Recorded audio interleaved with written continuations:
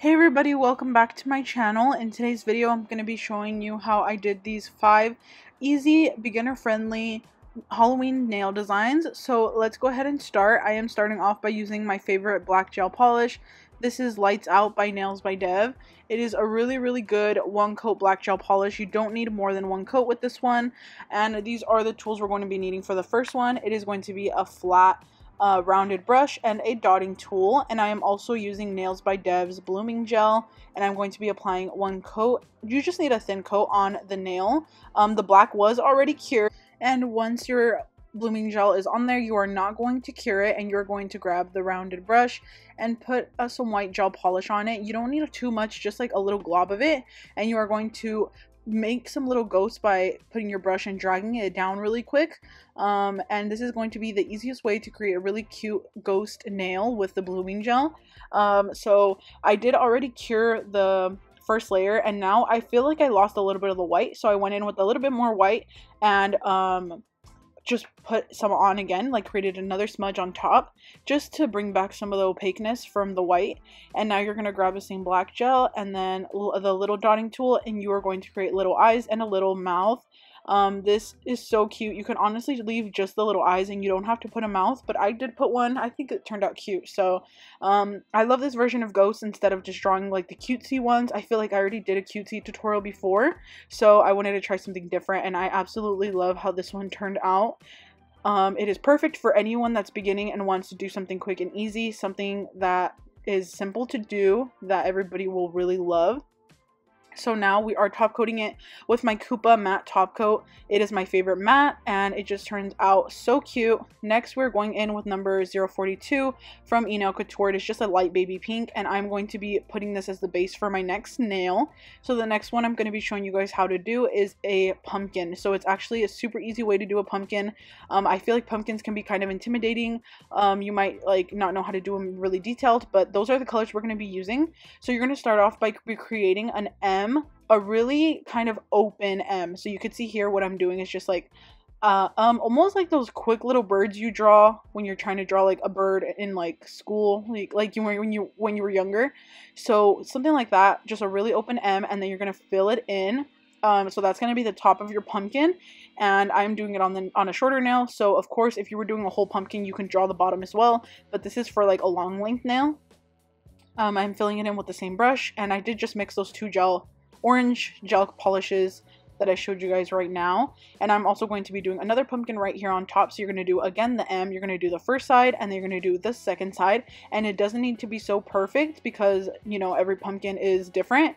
Um, one side could be bigger, taller. It doesn't really matter. It'll still turn out cute. And then, again, you're going to fill it in. And then after this, you're going to cure. And then, um, yeah, so right here, I'm just kind of fixing it a little and um, just trying to make it how I wanted it to look. I decided to do two pumpkins because I felt like the nail would look too simple with only one. And of course, cleaning up my edges as I go. I forgot to mention on the ghost nail that you should always clean up your edges when you're using blooming gel as well before you cure because the blooming gel spreads so fast that it can quickly go to the edges of your nails and then you don't want them to look lumpy. So now I what I did is I mixed just a little tiny bit of black with those same orange colors that I made and I am going ahead and creating these ridges for the pumpkin. So you're basically going to create lines.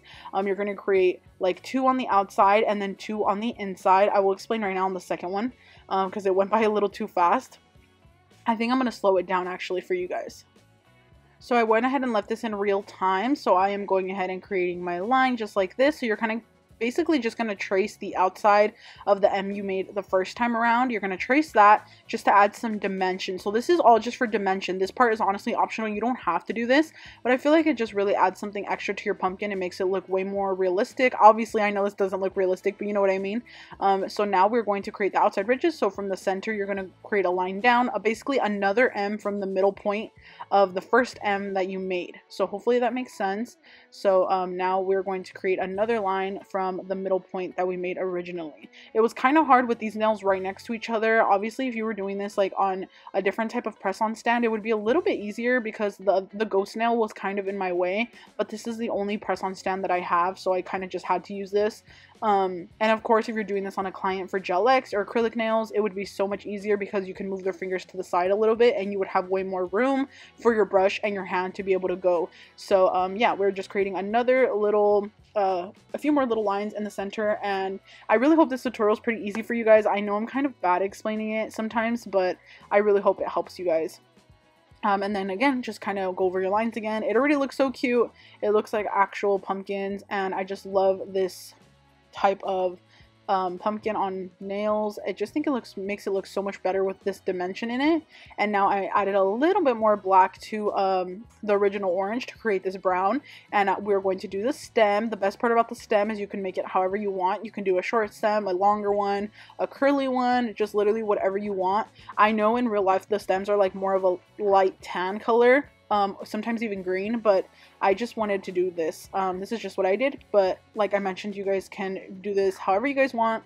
Um, you, you can even make the pumpkins like a creamy white color. That would be really cute too. You can make them pink, whatever color you want. Um, and now I'm grabbing some of the regular orange, the lighter one, and I'm going to be adding more dimension by putting it in between the ridges so this will make it look like there's like light bouncing off the pumpkin more um and it just really adds again just like a nice detail of course, this is optional. Um, I just wanted to make it super easy for beginners to learn how to paint things with a little bit more dimension instead of having to draw just like a flat pumpkin. Um, so yeah, I this is what I do, and I think it looks so cute. Look at this; it's so freaking cute for fall.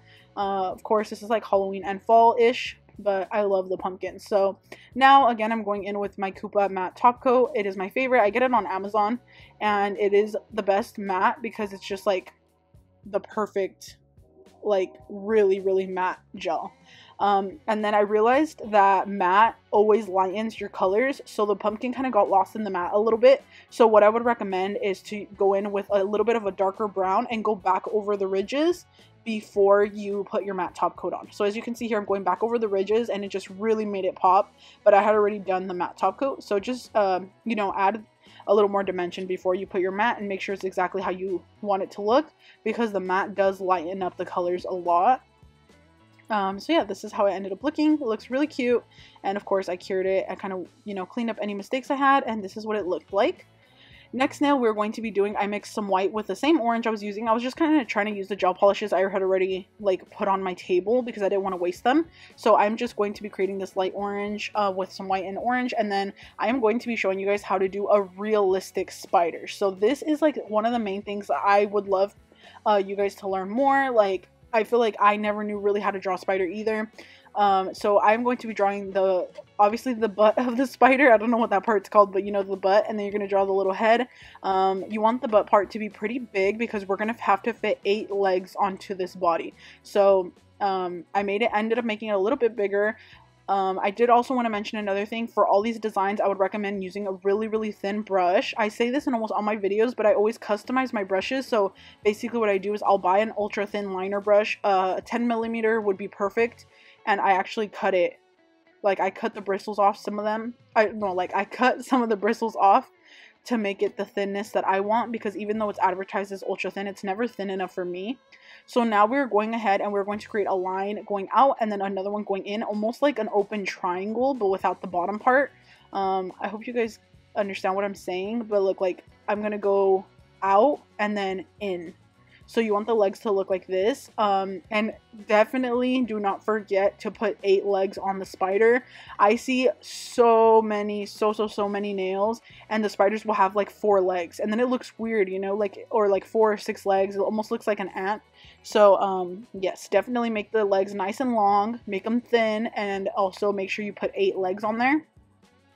Um, we're going to do the same thing for the front of it and yeah so i was like one of those you know one of those people that didn't know how to do a spider. I think i might have an old picture um, and i probably only put like four or five legs or six legs on there. And, and looking back at it now i hate the way it looks.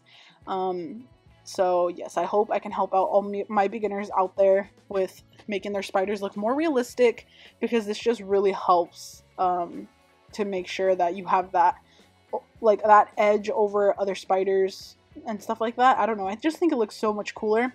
So yeah, this one's gonna have eight legs, and I'm just kind of trying to count them, but it was kind of hard. They were kind of getting mashed together, but it's no problem. You won't be able to tell too much. Um, And yeah, so I'm just adding them, making them a little bit darker because they got a little thin.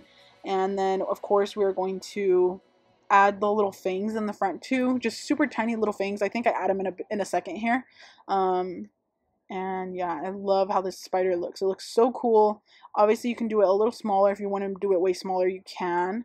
And uh, like I mentioned, the key to getting a really good spider is to use a really thin brush so that the legs aren't so, so thick. And it'll look super cool. So this is my one of my old spider drawings. Guys, like what's even going on here? Like that has nine legs and it looks like a little beetle or something. so yeah, this spider is definitely an upgrade from my old work and I love the way it looks. It almost looks like kind of real like in person. It's like so crazy. Um, and yeah, I really, really love how it's looking. I'm also going to add a little bit of brown on the body, just little lines to make it look even more realistic. And I feel like it really added to it. You can't see it too much, but it's still cute. And um, yeah, I just went ahead and added the fangs and I love the way it looks. It's really cool. And now I'm going to add the little web that it comes hanging down from. And then we're going to mattify it, of course. I'm going to mattify all of these just because I feel like it really makes them pop. And then we're going to cure it and that is what it looks like. Now for the next nail, I'm going to be showing you guys how to do a spider web and how to get the best result. So I'm going to be using the same black gel and we're going to cure it and then I'm going to be grabbing a long, thin, thin brush. So I customized this one again, of course. I cut the bristles off some of it, like half of it, and um, made it super thin. And you're going to grab barely any gel on your brush. Like you almost want it to not even be able to look like it has gel on it uh, you want it to barely have anything and you're going to create the lines of a spider web. So you're going to create one down the middle, two on the sides, and then two more on the other side. So um, I'm going to do another one down here, I believe later in a second here. But now you're going to grab the brush and you're going to create the little web part. For this one, I like using a little shorter brush because you have more control. I think I end up switching brushes in a second. I don't remember exactly if I do or not, but um, what using this long brush to create the little webbing part is really difficult. So um, yeah, I'm kind of just kind of trying to do it here, but it is a little hard because the brush, you don't have so much control when, when it's so long like this. And with a little bit of short, a little bit shorter brush, as long as it's really thin, you will get really nice webbing as well. So here I am creating the webbing part you just want it to go in a row all the way around. So you want to start off with the smallest ones, bigger and bigger and bigger, and you want them to line up at the end. So you see how they kind of line up here. I didn't do it so perfect, but um, they do line up and that makes it look like the perfect web. Also, another thing, these lines, you want to make sure you have them ready and done first because you can't go back in and make another line once your webbing is already there because it'll make it look like a natural. I would I don't know how to explain it, but um, yeah. So I did these webs, and I think they're so cool. They turned out so so good, and I absolutely just love the way I have like grown to do them. And the key is definitely the longer brush or the not the longer, the thinner brush. The thinner brush gives you the better webs. So see now I switched to my smaller brush because I'm doing a smaller web here. Um, this brush is also very, very thin. It's just a little shorter. So this is about a 10 millimeter and the one I was using for the bigger web was a 15 millimeter, I think um, 15 or 20. So yeah, now we're doing the webs. And again, just make sure there's barely little to no gel on your brush. Like you want there to be barely anything, just enough to create the webbing because the webbing should be very thin. And that's what's going to give it that really cool, realistic look. Um, literally, you guys, I'm so like perfectionist sometimes with my nails that even that other web, like the one that I did first, I was looking at it and I was like, it looks kind of thick. Like I honestly wanted to redo it, but I was like, no, it looks good. So um, I left it, but I would prefer it to be a little thinner just because that's how I am. Like I always have to go back and redo things if I don't like the way it looks. Um, I'm pretty sure a lot of you guys are like that too. But yeah, now I'm going to be doing a really cool nail. It is going to be a cute little mummy. We're going to do, again, the black gel polish. If you guys haven't tried this black gel polish, you totally should. It's literally amazing. It's a game changer. It has never peeled or wrinkled for me either, which is a big thing that I struggle with with black gels. Um, so we're going in with the black and then curing it, and then you're going to go in, go in with your dotting tool and some white, and you are going to draw two circles for eyes. They can be mismatched, they can be different sizes, it doesn't matter. Um, and then you are going to go in and put some yellow. I had this yellow that was glow in the dark that was perfect for these eyes. So I went ahead and did it. And I left some on the outer edges so it looks like the eyes are glowing. And then I went in with my dotting tool and did two black dots in the middle for the eyeballs. And then now we're going in with some white gel polish and my little, I think this is 10 millimeter brush. Um, and I'm just doing random lines. This is real time. I didn't speed it up or slow it down so you guys can see how easy it is to do. You're just going to do lines back and forth, almost like a zebra type of look, but it's going to end up looking really cute like a mummy um, and you want to put high pressure when you're doing this. You don't want the line, you don't want the lines to be too too thin. I or at least that's how I wanted mine to look. Um, I wanted the lines to be a little thicker, so I'm doing it thinner where I want it to be thinner, and then thicker where I feel like it should be thicker. So just kind of like apply pressure to your brush and then loosen pressure on your brush. You know what I mean? Uh, and it looks so freaking cute. And I also did put in a little bit of yellow mixed in with some of the white and went over it one more time and a little tiny bit of brown as well to make the uh, mummy like like toilet paper whatever it is like the the gauze look more dirty not so that it doesn't look so so white. So i basically just wanted to add more detail and dimension into it. And i absolutely love how it turned out. He's so freaking cute. Like he's cute but spooky at the same time. You know what i mean? And i think i like totally love the way it looks. I think these would be so cute if you did different types of mummies on like a french tip like french tip mummies. That's a really cute idea. I might do that uh, for a video. But this is how they turned out you guys. I really hope you enjoyed this video these are some of my favorite little easy designs that I've done. Quick and easy tutorial. I absolutely love these and I really hope they help you guys out if you are a beginner or struggling with nail art. I will see you guys in my next one. Please don't forget to subscribe to my channel and yeah, I'll see you in my next video. Bye!